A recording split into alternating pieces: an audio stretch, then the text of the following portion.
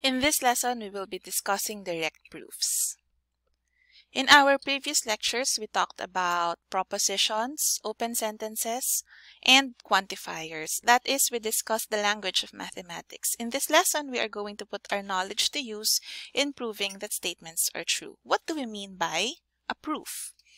A proof is a process by which a mathematical statement is shown to be true.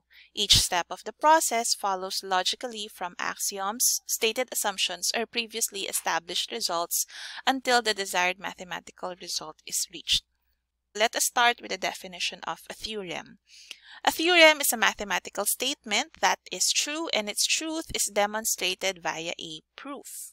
A lemma is usually a minor result that we prove in order to use it later to prove a bigger result. We use lemmas as a way of breaking up large proofs into smaller, more understandable pieces. So for example, you can see something like you have lemma 1 and then you have lemma 2 and then theorem. This is the main result. If you do not use lemmas, what will happen is that the proof of this theorem will be very, very long. But if you break it into smaller pieces, that is why you use lemmas, the proof of the theorem will not be that long. What about a corollary? A corollary is again usually a minor result that follows immediately from another result we have proved. So you can see something like this. Let's say you have a theorem, then you have a proof here, and then you will see corollary and the proof of the corollary usually is just one or two sentences because as I have mentioned here, the result follows immediately from the theorem. Of course, a definition states the meaning of a word or word group. Here are the definitions that we will be using for our proofs in this lecture. First, an integer n is called even if n is equal to 2 times an integer m.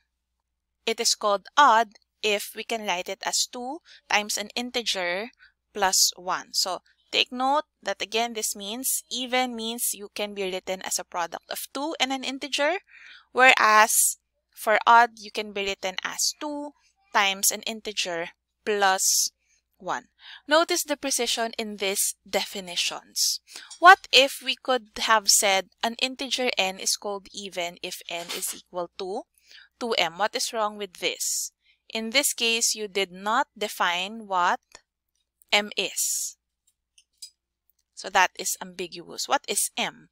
Or for example here, n is equal to 2m for some number m. You don't really quantify what kind of number is m. So this one is not specific. If we use this definition here, you can say that all integers are even because you can say 7 is equal to 2 times 3.5 if you are using this one. However, the definition says that this number here must be an integer. Next, let us have the definition of divisibility. Suppose that we have two integers, n and d. We say that d divides n and we express it as this d divides n if the integer n can be written as d times an integer m. We say that d is a divisor or a factor of n and that n is a multiple of d. If it happens that d is strictly smaller than n, we say that d is called a proper divisor of n. If d does not divide n, we use this notation. d does not divide n. So for example, 8 divides 40 because 40 is equal to 8 times 5 and 5 is an integer. Take note that this notation is not the rational number 8 over 40 nor 40 over 8. This is just a notation in saying that 8 divides 40. Also, you cannot say 8 divides 40 equals 5. This is wrong. In this lesson, we are going to study proofs of this form. P, then Q. The first and most important proof method is the direct proof of the implication. Since this is false, when the premise is true and the conclusion is false, we will show that an implication is true by showing that this case cannot happen. And that is, it suffices to show that if the premise is true, the conclusion must also be true. Recall that we no longer care if the premise is false because if the premise is false, regardless of the truth value of the conclusion Q, the implication will always be true. Hence, a direct proof will have the following form. You assume the premise P, assume that that is true, and then develop a chain of statements that leads you to the conclusion Q is true. Once you have done this, it already means that you have proven that the statement P then Q is true. In writing your proofs, take note of the following. Make sure that you state the hypothesis, if there is any, and then determine the premise and conclusion of the implication you are trying to prove. Once you have determined those, you assume that the premise is true and then develop a chain of statements that leads to the conclusion of your implication. Here is a tip for you. Do not just put a string of symbols. Every step of your proof should express a complete sentence. Here is our first example. Let x be an integer. Prove that if x is odd, then x plus 1 is even. We are going to prove it, but this is just our scratch because this will tell you how the proof will look like. The first step says that you have to state your hypothesis. And what is your hypothesis here? x is an integer. And then what are you proving here? You are proving this implication. If x is odd, then x plus 1 is even. Your premise is x is odd and your conclusion is x plus 1 is even. The step says that you have to assume that the premise is true. So assume x is odd. And then at the end, you have something there. At the end, you want to arrive at the conclusion that x plus 1 is even. The question is, what will we write here so that from this assumption, from our given, we will achieve the desired result, which is x plus 1 is even. When is an integer even? We want to achieve this one. x plus 1 is equal to 2 times an integer. Let's go back to our given. x is odd, so that means x is equal to 2m plus 1 for some integer m. Take note that I clearly defined what my m is. And we want to achieve x plus 1. So how do we do that? We add 1 to both sides of the equation. We get 2m plus 2 here. But take note, we want to achieve x plus 1 is equal to 2 times an integer. And we can now write this as 2 times m plus 1. Is m plus 1 an integer? Yes, this is an integer because m and 1 are integers. Now, this is just a sketch. This is not yet a final proof because as you notice, these are not even sentences. I just want you to see how your proof will go from the given until you reach your conclusion. So here is the formal proof. Let x be an integer. That was our hypothesis. And this is the premise of the implication. Suppose that x is odd. From the definition of odd integers, x is equal to 2m plus 1 for some integer m. Take note that I did not write this in my scratch. And then adding 1 to both sides of the equation yields x plus 1 is equal to 2m plus 2 equals 2 times m plus 1. Since m is an integer, m plus 1 is also an integer. Hence, we have shown that x plus 1 is a product of 2 and an integer. Therefore, x plus 1 is odd. Here's another tip for you. Use writing techniques such as transitions and word choice to strengthen your proof and guide your audience. So for example, I use transition words, hence meaning to say from here to here, And then I have therefore. And I also used words to guide my audience. So I've I used that here. We have shown that x plus 1 is a product of 2 and an integer. Next example. Suppose a, b, and c are integers.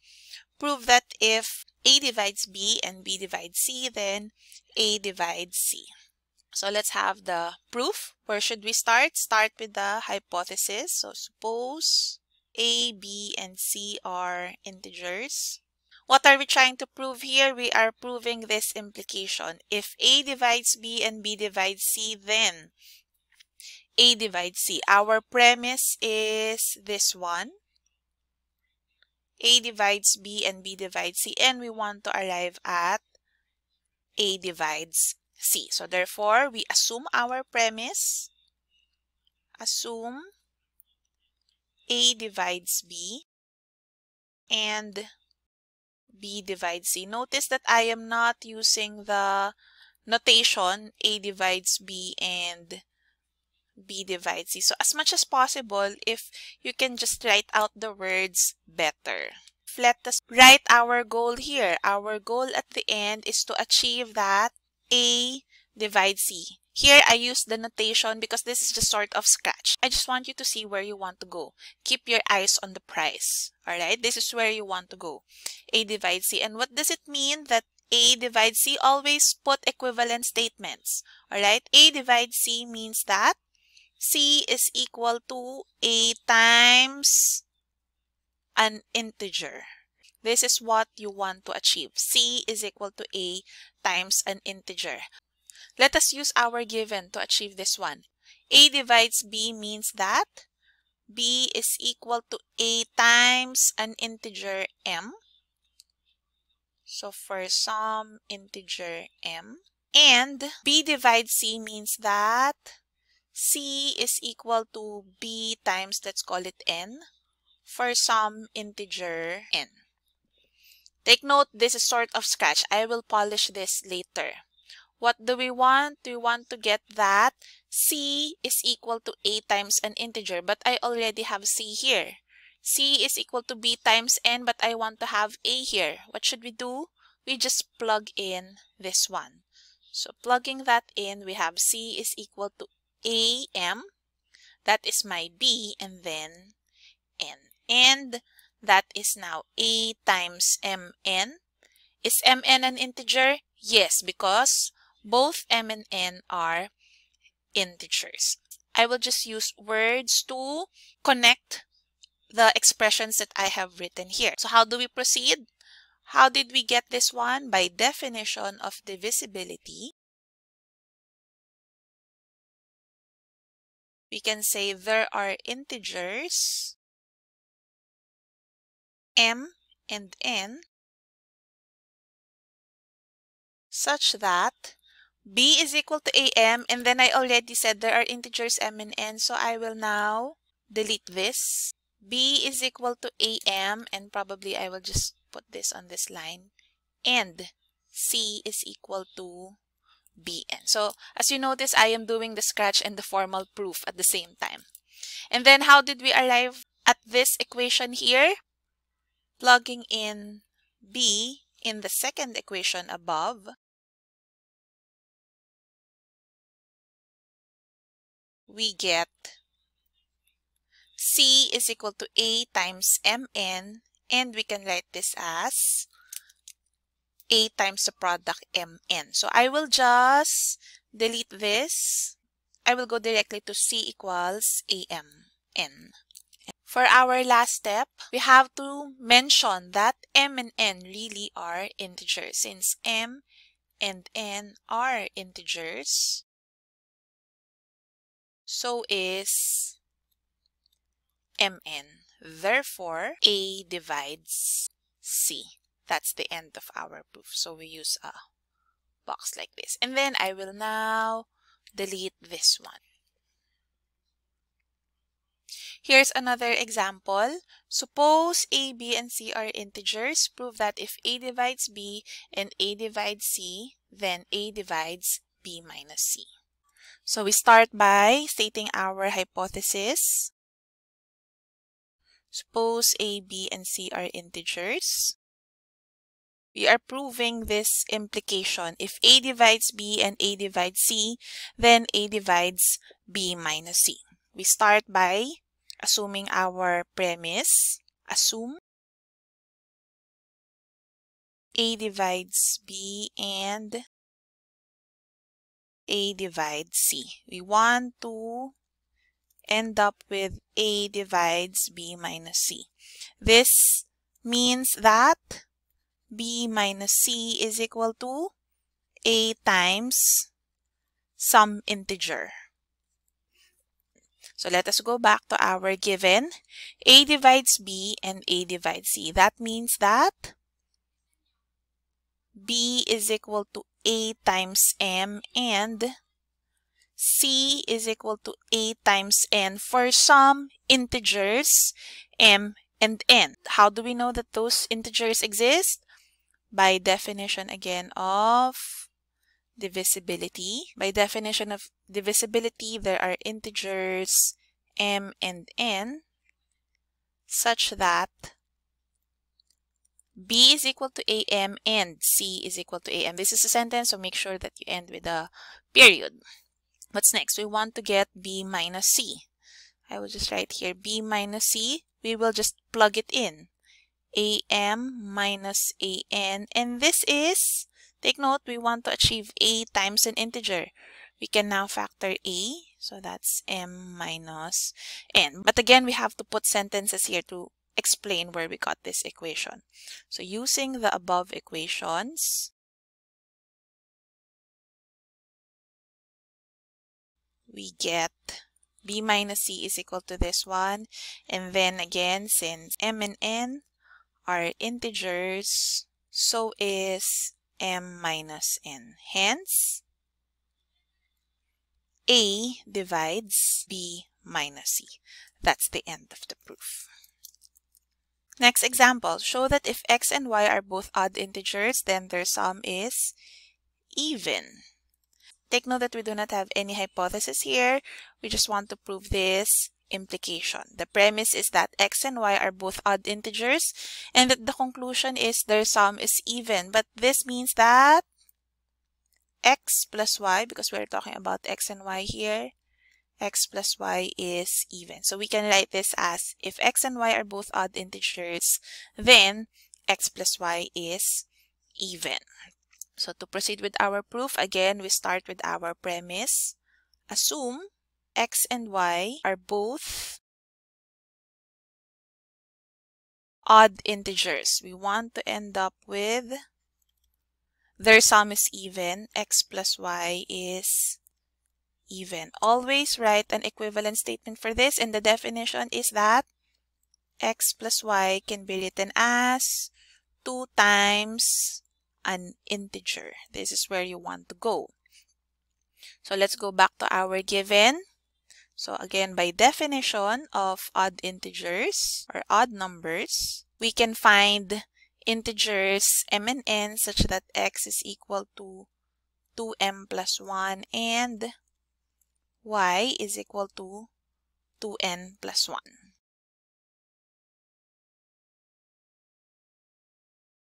Next, we will just add this two. Adding x and y yields x plus y is equal to 2m plus 1 plus 2n plus 1. And this is 2m plus 2n plus 2n. Take note that we want to achieve 2 times an integer. This is 2 times m plus n plus 1. When you are writing your proof, always know your audience. So here, I will no longer say that since m and n are integers, so is m plus n plus 1. I can now start assuming from here that my readers are students like you who can already see the connection that m plus n plus 1 is an integer. So I can now say, therefore, x plus y is even. As an exercise, try to do this. Show that the product of any two odd integers is odd. Take note that this is an example wherein it is not written in the if-then format. However, you have to write it first as an implication. And what is that implication? If x and y are odd, then xy is also odd. So therefore, you start with assuming that x and y are odd and then show that xy is odd. Next example, suppose that we have three odd integers. We want to show that x times y plus z is even. Take note that you can proceed just like what we did before, wherein you write x as 2m plus 1, this is 2n plus 1, and then let's say this is 2L plus 1 for some integers m, n, and L. However, have to stay conscious of previously shown results. If something has already been proven, there is no need to prove it again. You can expedite the process by citing the results. What do I mean by that? Take note here that y and z are odd integers. What can we say about the sum of odd integers? We have already seen in example 4 that the sum, this is saying that the sum of odd integers is an even integer. So therefore, we can use this result. So let us start with the proof. I will still start with my premise. Suppose x, y, and z are odd integers. Then I want to end up with x times y plus z is even. I will now make use of example 4. So by example 4, y plus z is even. It suffices to show that the product of an odd integer, this is odd, and this is even, I want to show that the product of an odd and an even integer is again even. So I will write that here. So take note that I am guiding the reader where I want to go. It suffices to show that the product of an odd and even integer is even. So how do I prove this? I have to introduce another set of variables. I can no longer use x, y, and z. Take note that when you are writing your proofs, do not use the same variables because you have already defined your variables here. They are already fixed. x, y, and z are already fixed odd integers. So I will start with let say r and s be odd and even integers respectively. When you say respectively, this means r is odd, s is even our new goal is to show that the product RS is even. So I will put that as an exercise. And then assuming that you have already shown that, I will now proceed with my proof. I have just shown that the product of an odd and even integer is even. So I will now say here that since x is odd and y plus z is even, then their product x times y plus z is even. And you have now reached your goal. That concludes your proof. To get a sense of how a proof of an implication should proceed, it is sometimes useful to work backward from what is to be proved. Decide what statement could be used to prove it, and then continue until you reach a hypothesis or the premise or a fact which is known to be true. Then after doing this preliminary work, you can now construct a proof forward. When I say forward, that is starting from the premise, you go to your conclusion. This is the forward approach. Whereas for the backward approach, you are starting with your conclusion and then this is your premise you go your way back until you reach your premise. But then after doing this, this is just a preliminary work, you construct a proof forward. Take note that this doesn't mean that you are assuming that the conclusion is true. No. You are still starting with the premise, you are assuming that the premise is true, and then show that your conclusion is true as well. Let me illustrate that in this example. So suppose that a and b are positive real numbers. We want to prove that if a is less than b, then b squared minus a squared is greater than 0. So I will have here the scratch. So here we are starting with the premise a is less than b, we want to achieve b squared minus a squared is greater than 0. Okay, I will work my way backwards. b squared minus a squared is greater than 0. This is the same as b minus a, b plus a greater than 0. When it's a product of two numbers positive, it's either that both of them are positive or both of them are negative. However, since a and b are positive, we have that this is positive and therefore b minus a should be positive as well. So we have here that b minus a is positive and where will you get this? From the premise that a is less than b. So therefore, we will now work our way forward. First, let us start with our hypothesis. Let a and b be positive real numbers. And we are assuming that a is less than b. Since a is less than b, then b minus a is positive. Since a and b are positive, b plus a is also positive. Hence, we have this part. b minus a times b plus a is positive. We got that from the two previous statements. b minus a is positive, b plus a is positive. Then you can say, therefore, b squared minus a squared is greater than 0. This is the proof. Sometimes it is helpful to work both ways. Backward from the conclusion, you go up, and then forward from your premise until you reach a common statement from each direction. Let me illustrate that in this example. So here we are starting with x squared is less than or equal to 1. We want to end up with x squared minus 7x greater than negative 10. I will go backwards. So I have x squared minus 7x plus 10 greater than 0 and then I'll factor this x minus 5 x minus 2 greater than 0. So I'm done. Then what I will do is start from here, go forward. x squared is less than or equal to 1 means x squared minus 1 is less than or equal to 0. When we solve this inequality, we get x is between negative 1 and 1.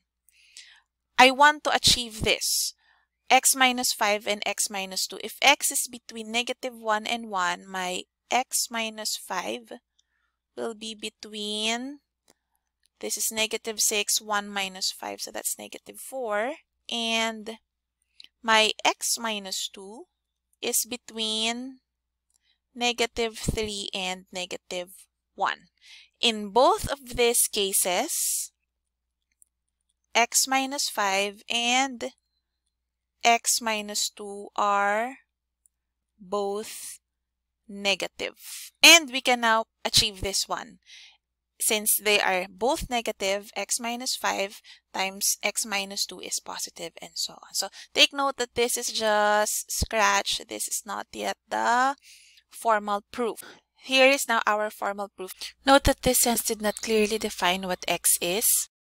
So there should be let x be a real number here. That is a hidden hypothesis because make sure that you always define what your variables are. Let x be a real number and then suppose our premise x squared less than or equal to 1.